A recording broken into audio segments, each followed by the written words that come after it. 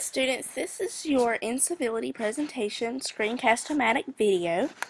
This video will help you understand how to use Screencast-O-Matic for your Incivility presentation. As you can see, I have part of your Incivility presentation up on the screen. This is your rubric and guide for how to do your project. This is just, I'm just showing you how to use it, so don't worry about reading all of this. But as you see, you can move the video the, the video box to where you need it to go. Okay, I'm going to show you what you can do for PowerPoint so you have to so you can do your presentation. When you're on PowerPoint, you know you can go down to your left corner on some PowerPoints and you have your three boxes. You don't have to do the third box, which is like your presentation box, because with Prezi, you can move, excuse me, with Screencast-O-Matic, you can move the box to your area and then you can make it bigger or smaller to fit. That way you can still see your notes on the bottom of the screen that are right here when you need to add information.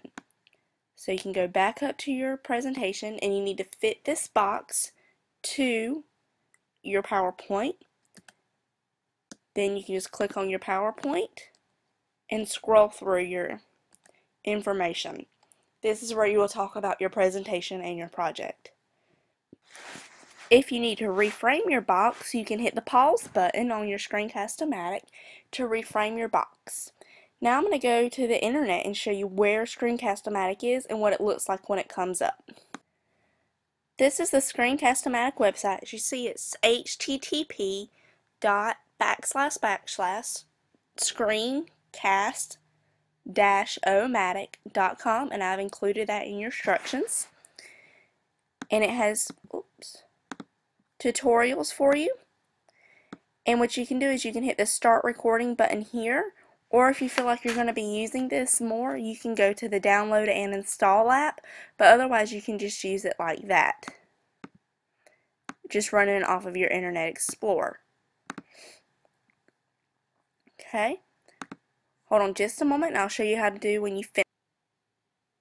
When you are finished with your presentation and you are okay with it, this is what will come up. You will hit the record stop button in the Screencast-O-Matic screen and this is your preview. So you can rewatch it and then decide to go back if you need to or you're ready to publish it.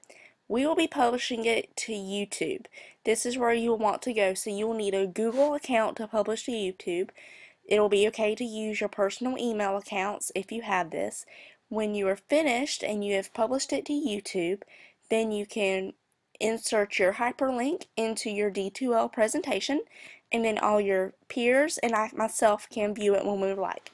If you have any other questions, please don't hesitate to call me.